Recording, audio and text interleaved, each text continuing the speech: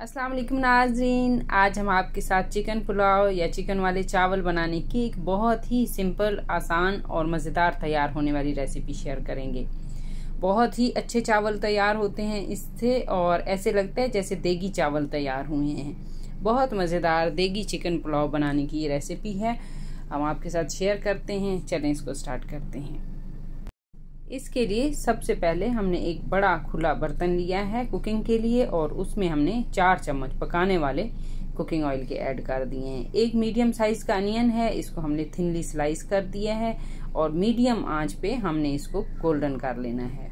Flame हमने medium ही रखना है। और इधर हमारे पास एक फुल लहसन था, ये देखें। और इसको हमने पील कर लिया और मोटा मोटा कूट लेना है। अनियन को देखते हैं। अनियन हमारा मीडियम फ्लेम पे गोल्डन हो गया है। इसके किनारे अच्छे से गोल्डन हो चुके हैं। स्पाइसेस में हमारे पास एक चम्मच जीरा है, आधा चम्मच काली मिर्च है, एक चम्मच धनिया पाउडर है, एक बड़ी इलायची है, आधा चम्मच हमारे पास लौंग हैं, एक से डेढ़ इंच का सिनेमन का पीस है हमारे पास और तीन लाल मिर्चें हैं। साबुत।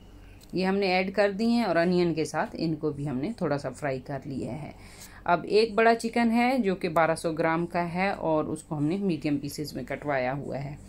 वो ऐड कर दिया है और स्पाइसेस के साथ और अनियन के साथ हमने इसको भी भून लेना है। ये देखें इसका कलर बिल्कुल अब वाइट हो चुका है, यानी कि कलर चेंज हो चुका है। अब हमने जो लहसुन कूट के रखा था, एक फुल लहसुन मोटा मोटा कूटा है। बहुत ज़्यादा बारीक नहीं किया इसको। वो हमने ऐड कर दिया और इस लहसुन को भी हमने चिकन, मसालों और अनियन के साथ फ्राई कर लेना है। दो से तीन मिनट हमने फ्राई किया है और अब हमने एक चम्मच लाल मिर्च ऐड कर दिया है। छोटा एक चम्मच लाल मिर्च का ऐड करके इसको भी साथ ही भून लेना है। जब भी हम होल स्पाइसेस को शुरू में कुकिंग ऑयल के साथ और प्याज़ों के साथ फ्राई करते हैं तो वो सारे कुकिंग ऑयल में एक बहुत ही अच्छा अरोमा और फ्लेवर डाल देते हैं। तो उससे खाने की खुशबू भी बहुत अच्छी आती है और टेस्ट भी बहुत अच्छा बनता है। ये हमने चिकन कढ़ाई भी साथ में तैयार की हुई है। अच्छा इधर चिकन हमारा भुन चुका है, मसाले भी अच्छे से फ्राई हो चुके हैं और बड़ी अच्छी खुशबू आना शुरू हो गई है। तो एक चम्मच हमने फुल भर के बड़ा चम्मच नमक का ऐड किया है। नमक को हम टेस्ट भी कर लेंगे। तो अब हमने इसमें पानी ऐड करना है। जितने चावल हैं, हम उसका डबल पानी ऐड कर रहे हैं। यानी तीन कप चावल थे हमारे पास तो हमने छः कप इसमें पानी का ऐड करना है। और अब हम ढक्कन रखेंगे ताकि ये पानी हमारा जल्दी से बॉयल हो जाए। फ्लेम हमारा मीडियम ही रहेगा। ये देखें, ये पानी बॉयल हो चुका है और चिकन भी गल चुका होगा इसमें तो अब हमने इसमें राइस ऐड करने हैं। राइस हमारे पास तीन कप हैं और ये हमने पंद्रह बीस मिनट पहले ही भिगो लिए थे। हमेशा राइस को पंद्रह से बीस मिनट पहले भिगो लें, यानी ऐड करने से पहले। यानी जब राइस पकाने की तैयारी करें तो सबसे पहले आप राइस को भिगो लें। तो जब तक हमारे राइस डालने की स्टेज आएगी, पंद्रह बीस मिनट हो चुके होंगे। अब हम इस पर लिड रखेंगे और हाफ़ लिड को हम ओपन रखेंगे। फ्लेम हमारा मीडियम है और मीडियम फ्लेम पे हाफ़ ओपन लिड के साथ हम इसको कुक कर लेंगे। ये देखें, पाँच मिनट हुए हैं और हमने इसको चेक करना है। इस स्टेज पे हमने नमक मिर्च चेक कर लेना है। अगर नमक इस स्टेज पे थोड़ा सा हायर होना चाहिए, क्योंकि राइस भी नमक अपने अंदर एब्जॉर्ब कर लेंगे तो फिर बड़ा अच्छा फ्लेवर बन जाएगा। चार से पाँच हरी मिर्चें हैं हमारे पास। ये भी काफ़ी स्पाइसी हैं। ये ऐड कर दिए हमने। एक क्विक इसको मिक्स देंगे। और अब हमने इस पर लेड रखना है। अभी स्टिल लेड को थोड़ा सा ओपन ही रखना है। और फ्लेम भी मीडियम ही रहेगा जब तक कि फुली इन चावलों का पानी खुश्क नहीं हो जाता। पाँच मिनट और पकाया है और अब इस टाइम पे ये देखें, चावलों में कोई पानी नहीं है नीचे।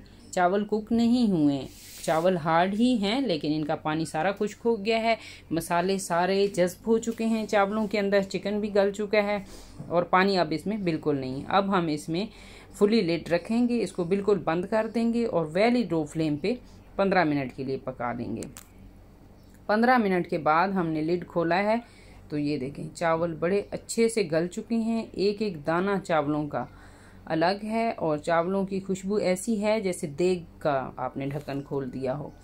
इतनी प्यारी खुशबू आ रही है, क्योंकि होल स्पाइसेस को हमने शुरू में भुना था, उन्होंने पूरे चावलों में अरोमा ऐड कर दिया और ये देखें, इनका जो चावलों का रंग है, वो भी बहुत ही खूबसूरत तैयार हुआ है। तो ये तो थे हमारे चिकन वाले चावल या चिकन पुलाव या देगी चिकन पुलाव की रेसिपी जो कि बहुत ही सिंपल है इजी है क्विक है और ख़ास तौर पे जब अचानक से मेहमान आ जाएँ और आपके पास कोई आइडिया ना हो पकाने के लिए कुछ भी तो आप ये चावल बड़ी जल्दी से तैयार कर सकते हैं। ये बच्चों और बड़ों सबको ही पसंद आते हैं। बहुत मज़ेदार तैयार होते हैं। तो आप ज़रूर ट्राई करें। इनशाला आपको ये रेसिपी अच्छी लगेगी और हमें कमेंट्स में ज़रूर बताएँ कि आपका देगी चिकन पुलाव कैसा बना। इसके साथ ही हमें इजाज़त दें अपना ख्याल रखें। Thank you for watching